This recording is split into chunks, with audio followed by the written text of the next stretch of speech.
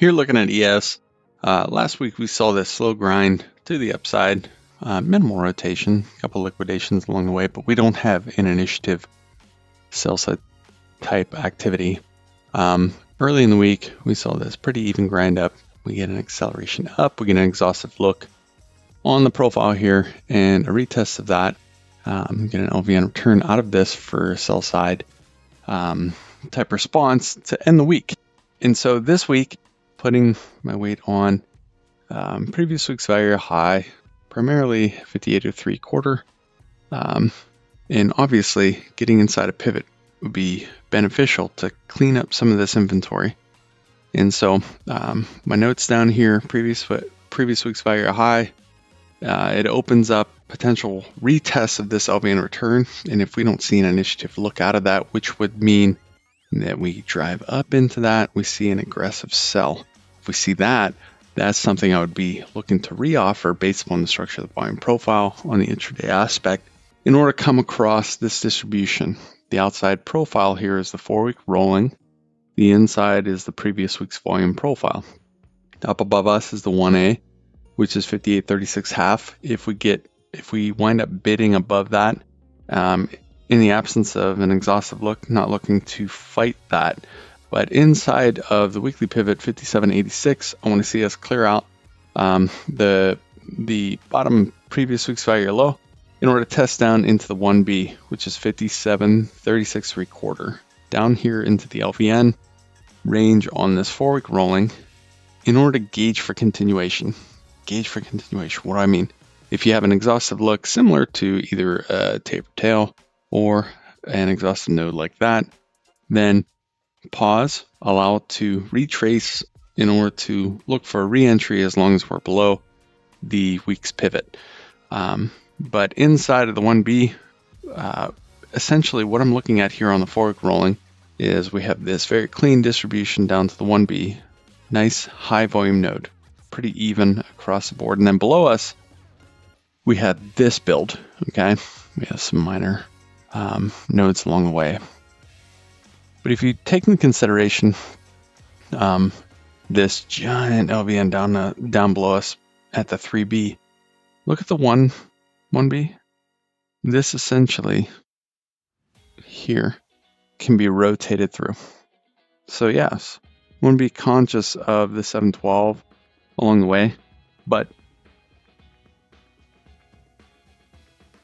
so um, underneath the 1B, yes, I want to see us tag into the 2B high volume edge to gauge for continuation between the 703 to 712 range.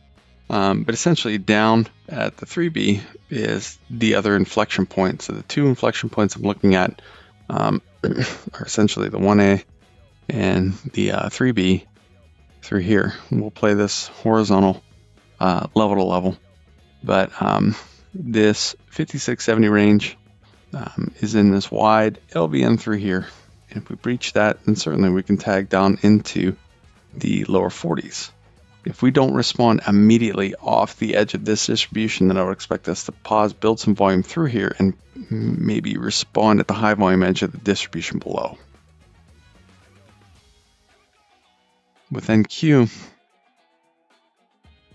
here looking at this, on the four week rolling, uh, last week's profile um, still balanced, relatively ambiguous at the highs and so forth. Um, we don't get that quintessential exhaustive look. Um, and the 1A is up at 20,540 quarter, and we're settling um, just above where it would be at the weekly pivot for this week, 20,167. Um, therefore, down here in the uh, 950 to 970 range, just below previous week's value low. I would expect um, if we can get like a V-shaped move on the intraday, then I would view that as strong, as staying in this distribution, potentially working our way back across through pivot, coming into previous week's value high, and potentially testing the 20,400s. If that doesn't respond or close above that EOD, then would like to see this tag um, into the 3B. So come into this high volume edge, gauge continuation, and work our way through not only to this 360, but from this 296 to the 360 range. But in the same note as um, ES, is that uh, above previous week's value high, I want to be ca- uh, cautious, uh, leaning in aggressively because we've not seen that initiative type move to the downside. As long as we're below the weekly pivot at 167 quarter, then by all means let's start let's start hammering these targets below us, starting with the uh, 950 to 70 range. Come through this LVN gauge continuation into the 1B and start tacking this off along the way. And so if we do see a look above and fail, then I, I want to lean in a little bit more. And if we come into um, the weekly pivot, test down into these 950s to 970s, come back above them and show that response, then initially I want to look at that and go, okay, all right, potentially exhaustive. But if we get above the weekly pivot, then I want to treat that respectfully um, in order to tag into the 1A and potentially gravitate into the 2A up here at 20,789. Uh, so get some rest tonight. Let's knock it out this week.